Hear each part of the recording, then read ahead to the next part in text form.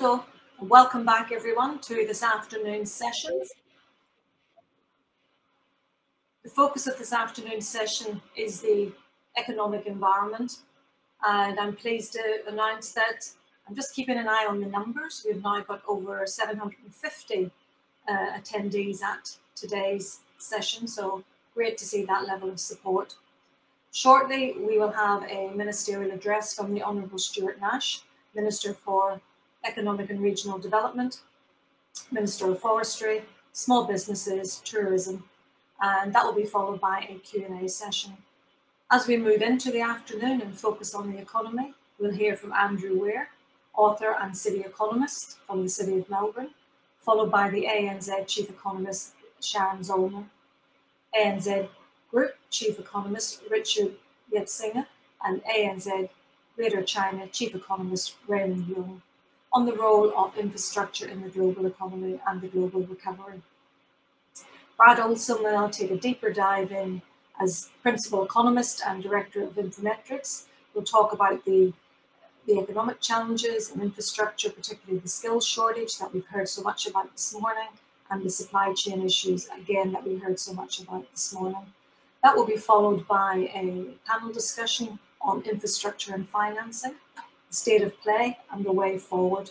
And that will be facilitated by Simpson Grierson, partner of banking and finance Joyce Cairns. At the same time, we'll be running a second panel facilitated by Ian Purdy, Head of Property and Infrastructure Investment at ACC, and that will examine the COVID-19 economic recovery with a particular focus on regional recovery and where to from here. INZ General Manager Claire Edmondson will close this afternoon's session. And on that note, I'd like the opportunity to introduce Claire to our members. Claire, as you know, was appointed General Manager of Infrastructure New Zealand in July. Um, but again, probably useful to share with you part of Claire's very, very impressive CV. She hails from the UK, not from Ireland, but we'll not mention the rugby, and holds a Bachelor of Law with honours. She is currently completing a PhD in Law and Criminology at AUT as she tells me, being general manager of Infrastructure New Zealand and that PhD are not necessarily linked. Claire has more than 18 years consulting experience, experience specialising in central and local government public policy, including most recently on the wage subsidy scheme and the resurgent support payment, working on several matters of national importance, including large-scale infrastructure projects, Whilst her immediate focus at INZ has been on delivering building nations, she has already added considerably to INZ's relationship with government and its ministers. Claire has held several roles in Christchurch following the Canterbury earthquakes, including as Chief Advisor to the Chief Executive of CERA, and later as Acting Chief of Staff to Christchurch Mayor Lianne Dalziel, and was Strategic Advisor to the Crown Manager of Christchurch City Council following the city's loss of accreditation to issue building consents. She was the establishment lead for communications and governance in the uh, company, sorry, the Crown company Otakaro, responsible for delivery of major infrastructure projects in central Christchurch. Claire was also a senior advisor to the Royal Commission into the Canterbury earthquakes and the senior ministerial advisor to the Minister of Education to the post-quake Christchurch School Renewals Programme and NovaPay, and has worked as a management consultant with both PwC and Martin Jenkins. So fair to say that Claire has the necessary and probably more than the necessary credentials to lead INZ in the next stage of our journey. So without further ado, I'll hand over to Claire to introduce Minister Nash. Thank you, Margaret. So this is my first opportunity to address INZ members, and I'd like to thank those that I've already met and that have made me feel so welcome. So someone has to be the first, and I'm pleased to be the first woman to lead the Infrastructure New Zealand team.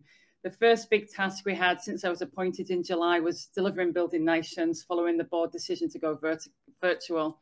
We are a small team, but we've put members at the centre of all that we've done and got stuck in over the past six weeks or so to get us here today. So my heartfelt thanks to the team for the long hours and diligence they've put in behind the, the scenes. So as we all know, the infrastructure sector is an exciting one to be part of with a range of complex issues to address. As Margaret alluded to, it's a sector I've been involved with before, working with ministers and at a senior level in government departments on complex, high profile and large scale projects in post-quake Christchurch. High level policy and advocacy will be vital as we move forward and will be a key part of the INZ work programme next year. What we've heard eh, eh, what we have heard ahead of us will not be easy for all sorts of reasons and will take some navigating. But Infrastructure New Zealand is well placed to continue to champion the cause on the sector's behalf. And I will look forward to meeting those members I haven't met yet as we crack on in 2020, 2022 and beyond. So you'll see you'll see me again during Building Nations, but for now it's my pleasure to introduce the Minister for Economic and Regional Development, Minister for Forestry, Minister for Small Business, Minister for Tourism, the Honourable Stuart Nash, for his ministerial address on COVID-19 and economic development, followed by a Q&A. So I just want to give a quick bio of um, Minister Nash. So the Honourable Stuart Nash first entered politics in 2008 as a List MP and was elected Labour MP for Napier in 2014. In his maiden speech, Minister Nash described himself as the first and foremost a public servant employed by the people of New Zealand and as a social democrat committed to sustainable economic development and growth. In 2017, he was sworn in as Minister of Police, Revenue, Fisheries and for Small Business. In, and in the 2020 Labour government, he was given a suite of portfolios focusing on supporting economic activity in our regions. As the Minister for Economic and Regional Development, Tourism Minister, Forestry and the Minister for Small Business, but before entering politics, Minister Nash worked in senior management in small and large organisations in both the public and private sectors.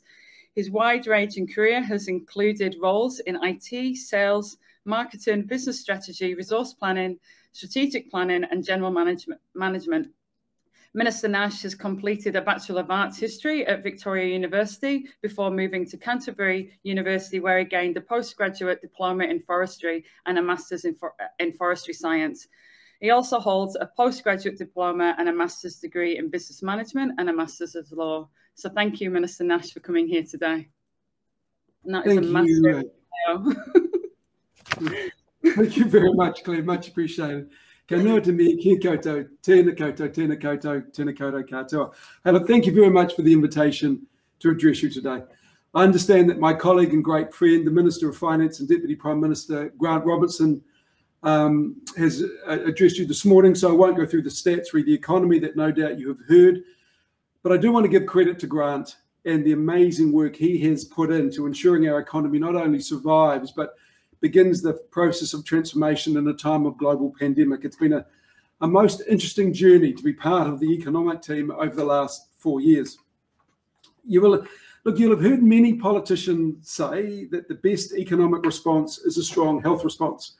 And I've used this line many times myself over the last uh, few months when I, on my Mike Hosking show. But I believe you can actually flip this on its head and say the best health response is a strong economic response because we got money out the door in terms of the initial lockdown in, in the form of the wage subsidy faster than any country. And that allowed people to remain connected not only to their places of employment, but also to their communities. And this has allowed us to roll out a vaccine program so successfully because of a very, I believe, a very high level of trust. Ignore the media's current fascination with anti vaxxers. Over 90% of the population buy into the reasons and rationale behind the vaccination. And I believe will, will end up being in the top three in terms of uh, vaccinated populations in the OECD. Hey, what I would like to do is take a bit of time to talk about what I what I'm seeing globally, and then putting this into a current New Zealand context, and then briefly weave this into the narrative around the work program that's currently underway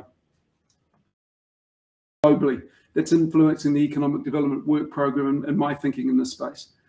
And what is driving economic strategy work that is so important to drive sustainable growth in a way that enhances the health and well-being of our economy and communities, drives our global brand, and meets, if not exceeds, both domestic and international markets and consumers of New Zealand products and information. First one, and I think this is pretty important, the end of the market-led Washington consensus where governments get out of the way and only interfere when we see market failure. And the beginning of what is, I think, going to be um, labelled the Cornwall Consensus, which is about governments and markets working together to drive change and sustainability in a way, in a way, prepare the economy as opposed to repair the economy. This is a pivotal change in uh, in the way that governments um, operate with the market. It helps set the agenda and drive economic growth and participation in a particular direction.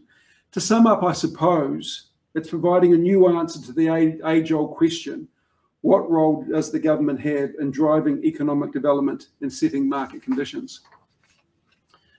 The second thing is recognition that climate change and the environment are real and the challenges facing our economies will require a different approach, a cultural change almost, to 20th century business as usual. It includes accelerating market circularity, funding green technology, reimagining investment strategies while guarding against greenwashing.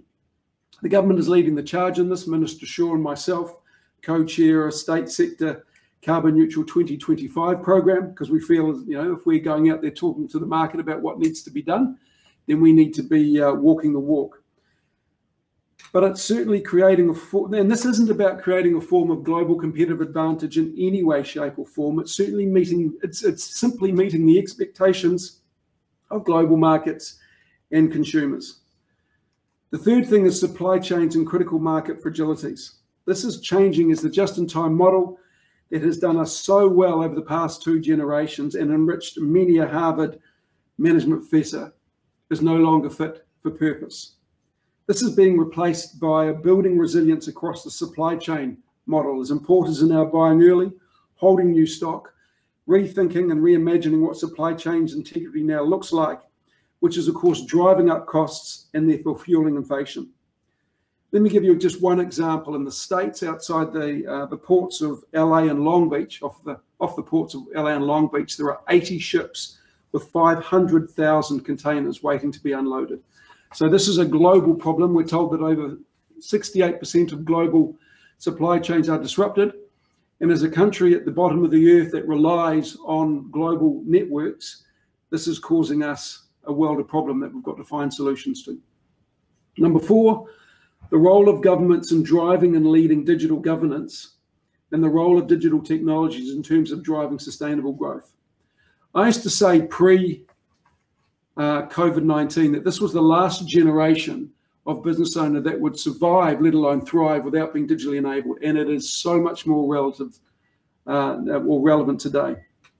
Everything we are doing as a government, be that um, uh, paying your tax, uh, being invoiced, digital, uh, sorry, um, procurement will be based around digital technologies. And if you're not digitally enabled or have some form of digital competency, then I think you will be left behind. One of the privileges I have is I chair the OECD's Digital for Small Business. And uh, looking at what is going on around the world, there are significant innovations across the small business sector. And if our small businesses don't embrace technology in a way that will drive change, then they run the very real risk of being left behind. And I do not think we can underestimate the role that technology will play in terms of driving productivity and global sustainability and competitiveness.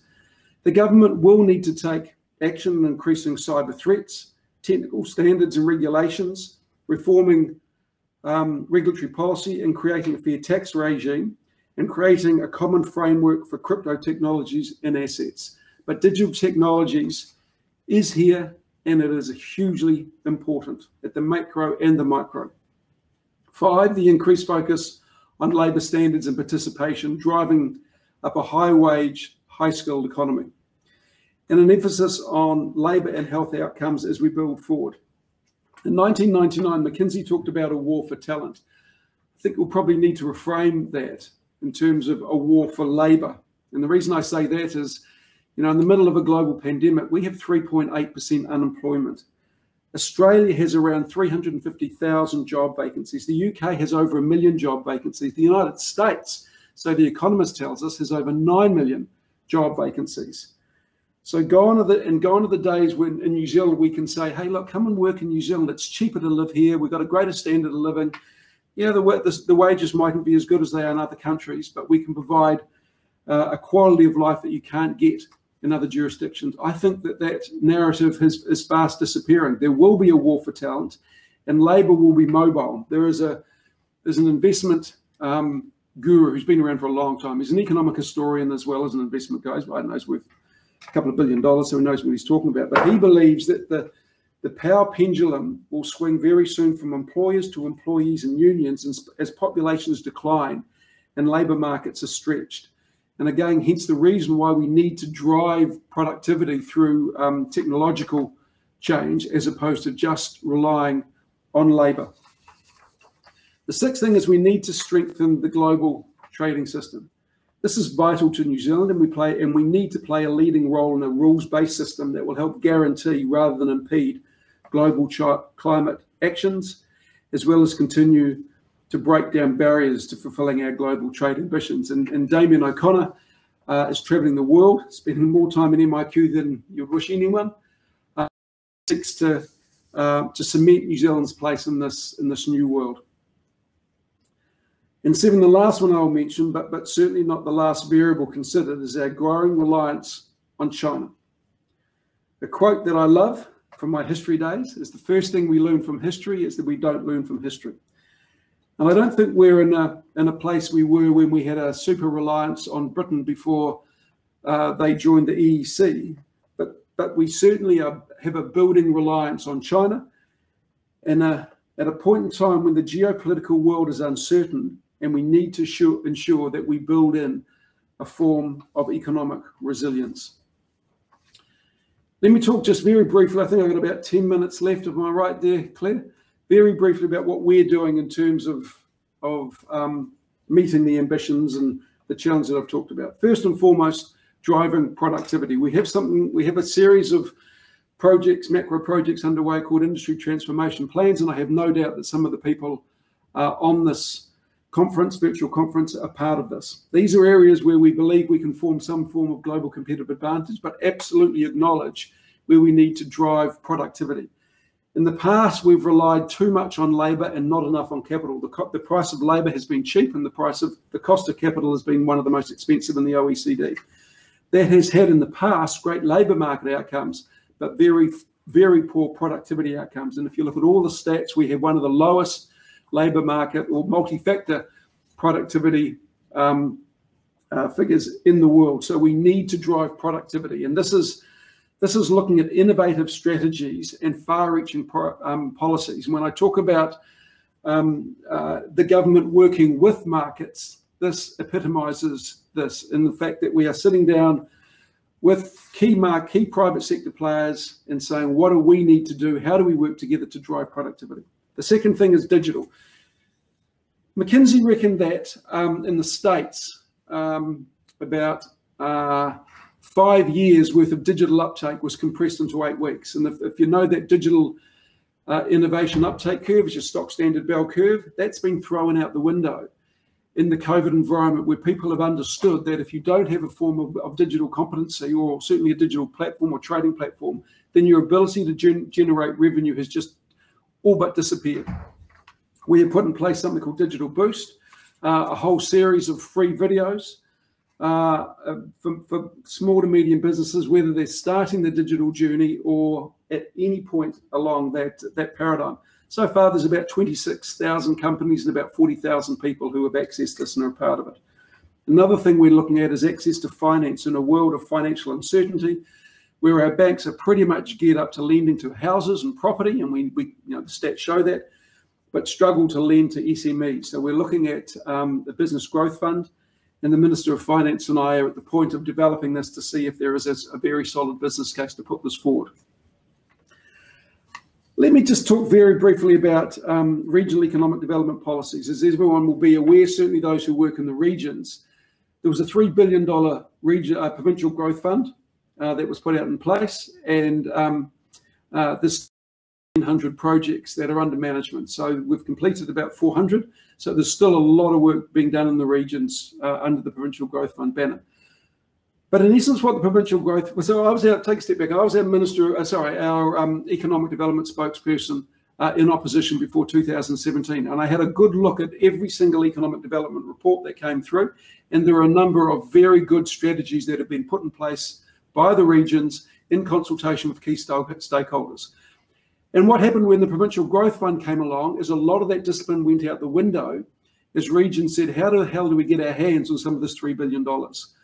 What we're trying to do now, what we will do now, is actually bring a level of that discipline and that um, key stakeholder uh, consultation back. We have something called the Regional Strategic Partnership Fund. It's a $200 million fund, uh, which we will invest in a way that um, that drives economic productivity. When I talked about our industry transformation plans, it'll sort of be directed towards that. It is for spending in the regions, but it will be a lot more disciplined than the provincial growth fund will be. And what we are asking regions to do is sit down and understand where your regional competitive advantage are, uh, regional competitive advantages are, where you would like help from the government to overcome barriers, and how we can help drive the sort of competitive changes or or um, process that are needed to really um, get gains and uh, we need across provincial New Zealand. But it's really just bringing back a level of discipline.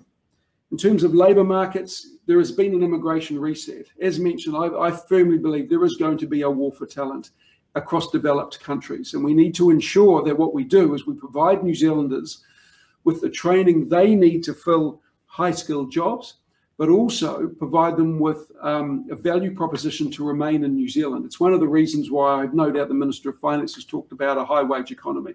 We are going to need that. The, a former Minister of Finance in a previous government said that one of our competitive advantage was a low waged um, economy. That just won't cut it in a post pandemic world where the Canadians and the Americans and the Australians and the Brits are all after our talent. So we need to provide a value proposition for why people would come here, why experts and those with, with high skills would, would choose New Zealand over those other countries. And certainly it is not through low, low wages. So our immigration settings uh, will change, but it doesn't mean that we eschew immigration. Of course, we will still need people to drive the sort of technological innovations that will um, create a, a, global sustainable competitive advantage, but we are certainly looking at, at labour market policies. Export growth is hugely important. And Damien O'Connor, and I'm, I'm also one of the, um, uh, the resource, the primary sector cluster ministers, and we are looking at what we need to do to our global brand. Well, we already have a pretty good global brand, a pretty outstanding global brand. And I'm talking as the Minister of Tourism as well as the Minister of Forestry. Um, but what we need to understand, and I think Fonterra's onto this now, is how we better capture margins as far down the supply chain as possible. You know, exporting commodities is not a future for, for a country like New Zealand. We need to be able to be branded as I think consumers, global consumers in that ultra premium end of the market become more engaged, more educated, more more aware of what they are buying, where they're buying it from, and um, a level of brand integrity uh, and product integrity that they're putting on their own plates into their mouths of their, their friends and their family, but also their products they're buying. Um, and NZTE has been uh, funded to ensure that our exporters have the tools and the context and the capabilities to best achieve their potential. So in conclusion, building forward better is not about a, a revised BAU where we, we tweak a few settings and uh, and you know just continue along the route we've, we've taken in the past because that absolutely will not work in a post-pandemic world. But rather, it's about driving transformational change across the economy, and you, but using government levers to help set the direction and enable the change. But as always, or nearly always, in partnership with key stakeholders, which includes every single person on this webinar. On that note, I will draw breath and, um, and welcome questions. Minister, thank you for that. Um, well, let's kick off. So it's these questions are going to go across all your portfolios, Minister. I hope that's okay. Um, so based on the fact that Auckland has been in lockdown for nearly four months, what are the government's plans to ensure that Auckland is an attractive place to visit and a gateway to the rest of the world? Well, Auckland will always be our largest city. Of that, there's no doubt. It already is an attractive place to visit. But one of the things is we look at, at, at data is it doesn't tend to be a destination. It's in fact Aucklanders that drive our domestic tourism market. In fact, uh, in a pre-COVID world, Um, you could argue, I think quite successfully, not only had we neglected our domestic tourist sector, we had actively um, not marketed to it in any way, shape, or form. Domestic tourism, as mentioned, was 60% in the pre-COVID world, and Aucklanders make up a huge big part of that. Uh, but having said that, how do we um, how do we bring people into Auckland? We have um, provided the regional tourism organisation with a substantial there in Market Auckland. Um, tourism New Zealand's doing a lot of domestic marketing. What we did in the uh, when the pandemic held is um, hit is allowed Tourism New Zealand to um, to transform from purely our international uh, eyes and ears towards a more domestic focus. So they will continue to do that. But I, if I have a look across what's happened in New South Wales, for example, what we saw in a, in a post first lockdown world, I think Auckland, I think there was a lot of pent up demand there.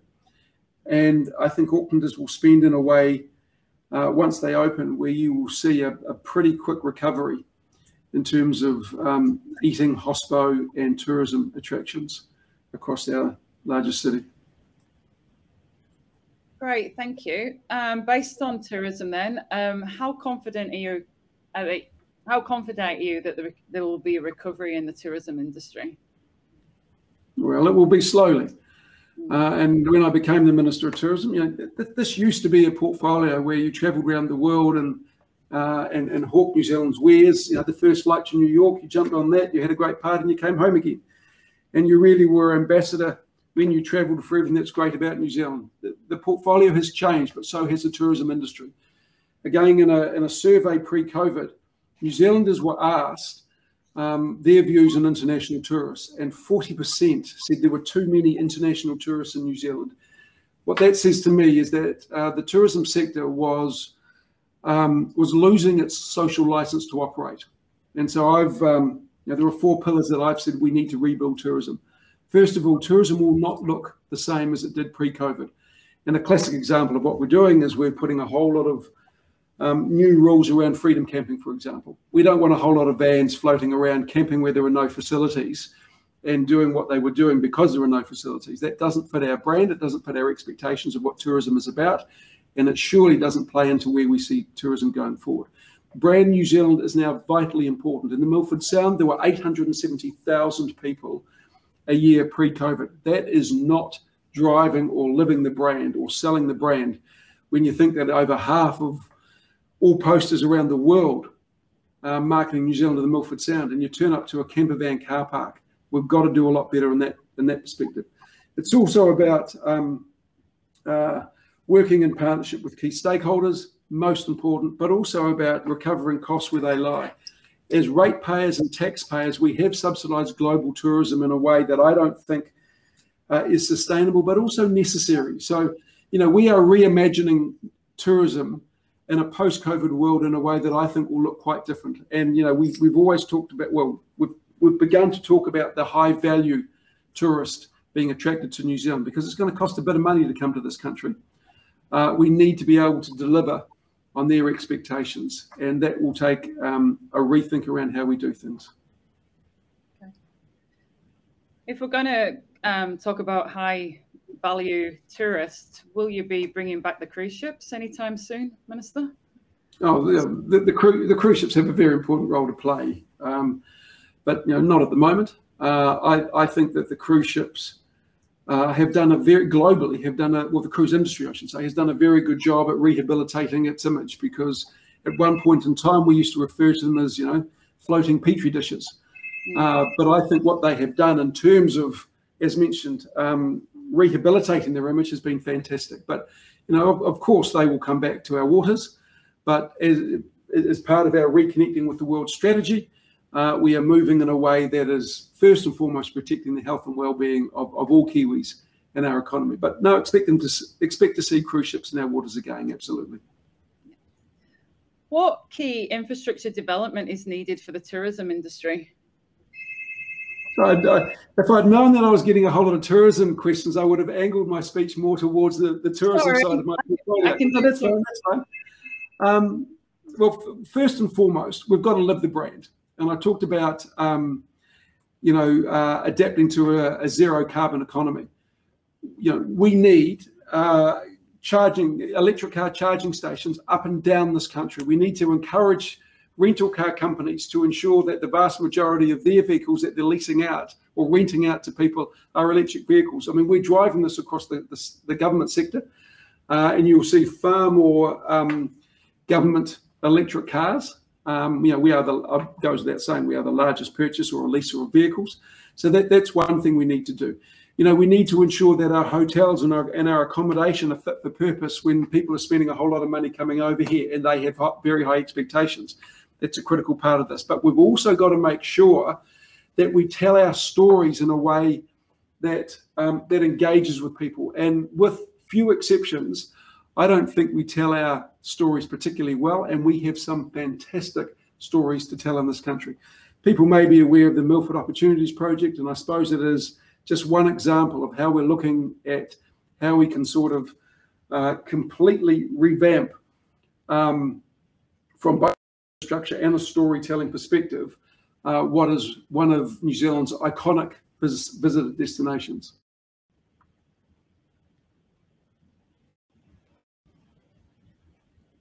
I talk about tourism, so I'm trying to find you a question that's not. No, look, I'm, I'm, happy to answer tourism questions. yeah, no, a lot of our members seem to want to know about tourism. Um, well, to all your members, I'd say book your, you know, book your book your travel down to Hawke's Bay. There's some fantastic wineries there. Make sure you visit Napier and pump some money into the Napier economy, and we'll love you. Here's another one. How will government ensure regional New Zealand isn't left behind in the economic recovery from COVID 19? Yeah, and look, it's a very good question. As mentioned, there was the Provincial Growth Fund. It was obviously implemented in a pre COVID world, but there is still a substantial amount of work going on across our regions um, due to the rollout of growth fund projects. But as mentioned, we've now got the Regional Strategic Partnership Fund, and that is about focusing regions once again on where their global or where global where their advantages are, and as a government, how we can work really closely with those regions to ensure that they they're creating jobs that are fit for purpose, that those jobs are sustainable, that the industries that are building up around certain clusters uh, are driving growth and competitiveness, and also ensuring um, uh, that local residents or people who live in the regions have the skills necessary to drive the sort of growth that we believe is possible. We've set up regional schools leadership teams. Uh, there is a lot of work regions in a way that I haven't seen before, and it's really empowering key decision makers um, to move forward. Is uh, is fantastic to see. I mean, look, I'm from Napier. I'm one of four children. Uh, at the end of the seventh form, which is year 13 for, for the younger people on the call, I left the city vowing and declaring never to come back to Napier. You know, I've been there, done that. It was a sleepy, boring town as far as I was concerned. I went out and I saw the world. I lived on the west coast of New Zealand, Christchurch, and I spent my last 10 years in New Zealand and Auckland after seeing the world. And I slowly realized that, in fact, you know, Napier and Hawke's Bay is a fantastic place to live and bring up kids. Now, you'll never get me out of there. But what we've got to do again is provide a value proposition. And I've got four kids myself. I would love them to come back to Napier once they've seen the world and got educated and do what they need to do. We also have to provide a value proposition for our young people to head off, get educated, but also come back and uh, and bring up their families and bring their skills and their competencies, but also their uh, their businesses back to our provincial uh, economies. And and we're beginning we're beginning to see that. And I think as as house prices and the cost of living increases in our large cities, our provinces will become more and more attractive to those who can really add value. Great, thank you. Um, how important is it for us to utilise government infrastructure programs to grow and educate regional companies? Oh, huge. And, and one of my um, roles and responsibilities is, is government procurement. And the Minister of Finance, Grant Robertson, and I are working very closely on how we um, government procurement from a, a cost plus, i.e., you know, the lowest cost wins, to implementing a whole lot of well-being aspects across that procurement um, area. So I think what you will see across the regions is a greater focus on empowering SMEs, regional SMEs, to be part of the uh, procurement process, and and a lot of Māori businesses to be able to play a part in that procurement process. What we need to be able to do, though, is provide the tools and the schools, uh, the skills and the competencies to allow these smaller businesses uh, to engage in a system which can be quite daunting if you're not part of it. And um, so government procurement and these government projects will, I believe, enable a whole lot of small companies to employ more people and and and grow from small into medium-sized companies and uh, and and take off from there. And I know you've got Minister Megan Woods addressing you later. She may well talk about the house building program that we've got going on around the country, and I have no doubt many of you members are aware of this. But that will provide an enormous opportunity for many people in the trades, for example, to be part of the growth that is going on across regional New Zealand. But that is by no by that's you know, there is a lot of work going on in the regions, and it's really quite exciting. Actually. Yeah, absolutely. Mm. Can I now pivot to another one of your portfolios, forestry? Because sure. we're also invested in this as well, Minister. You've got so many portfolios. So, what is the state of infrastructure for our forestry industry, and what are the prospects for additional onshore processing? That's a really good point. And one of the industry transformation plans that I talked about is forestry and wood processing.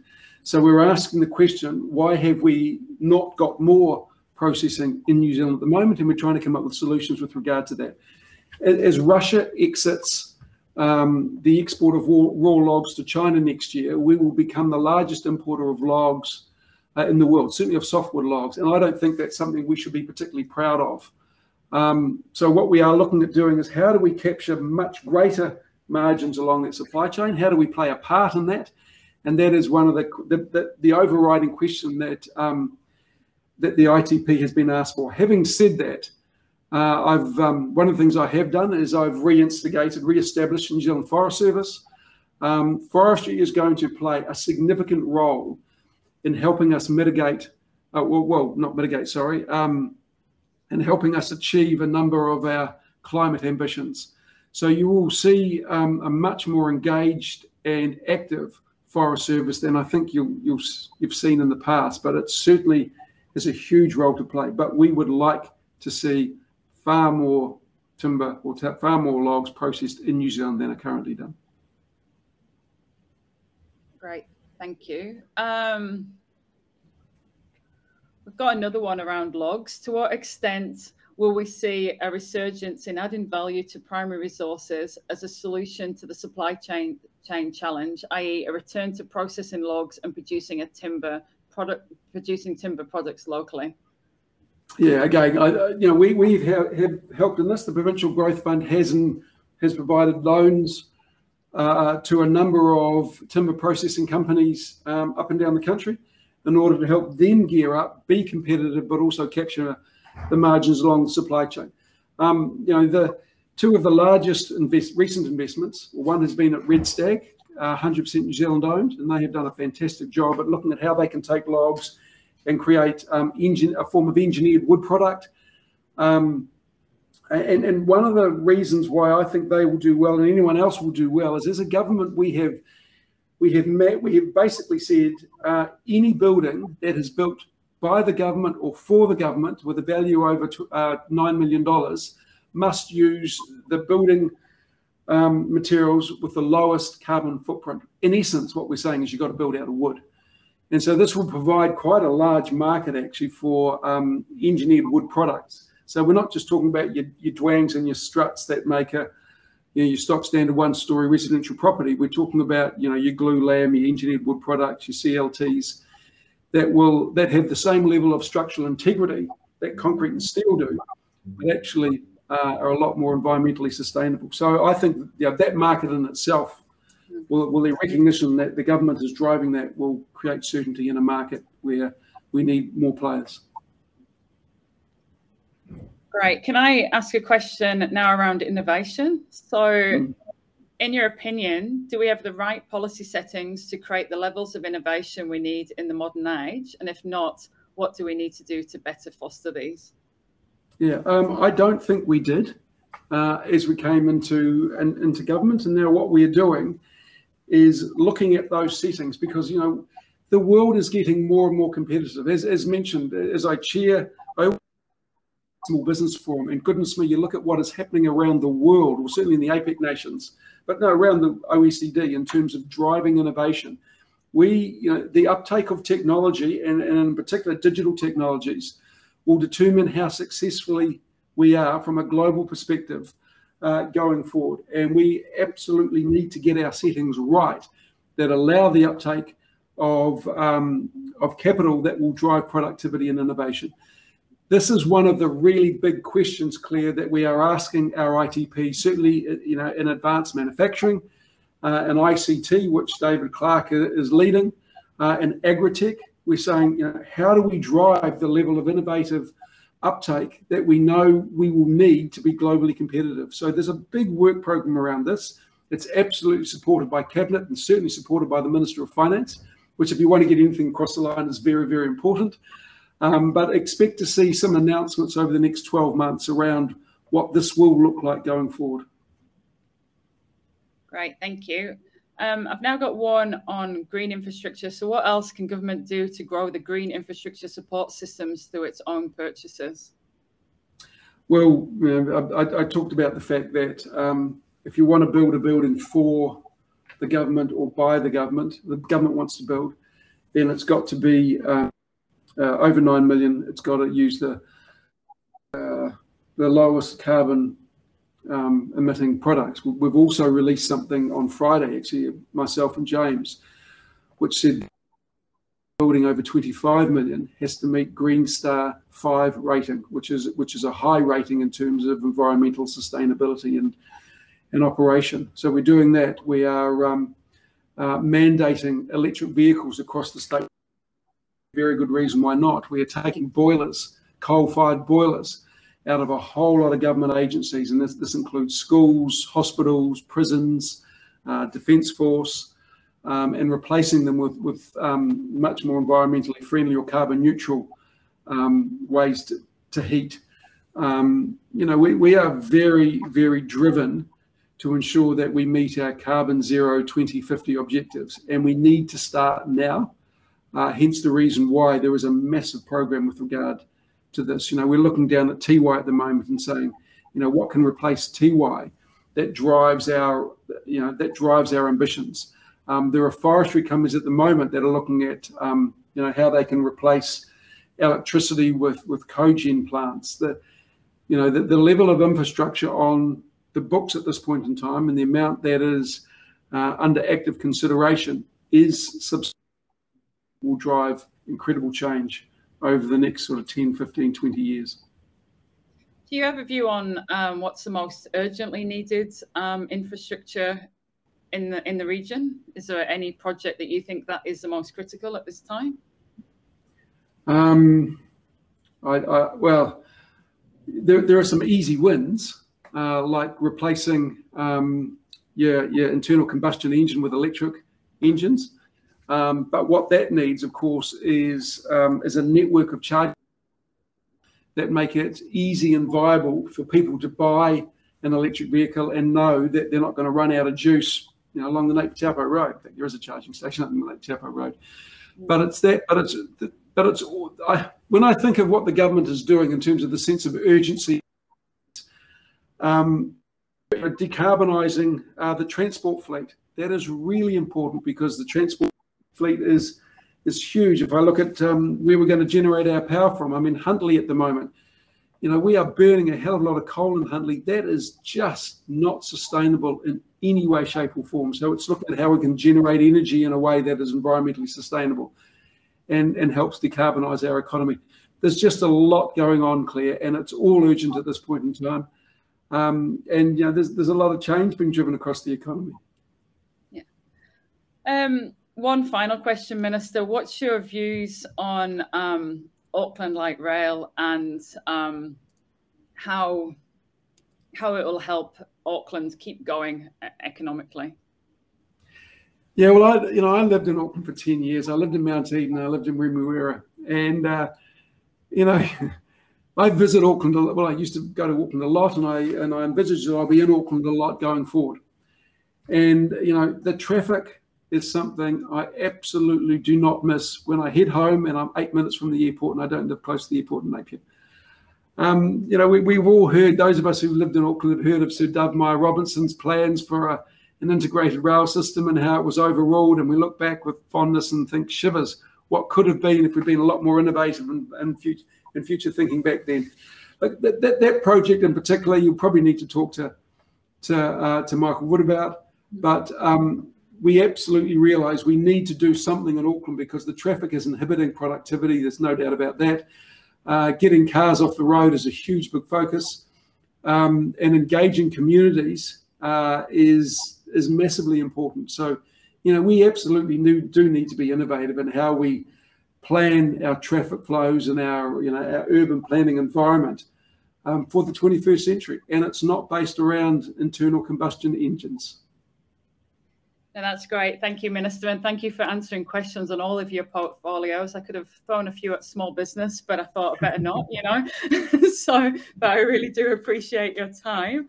Um, I just want to allude to our members next that um, coming up next, we've got Andrew Weir. He is an author and city economist from the City of Melbourne, and that'll be starting at 1.15 after a short five-minute break. So we'll see you in a few minutes. Thank you.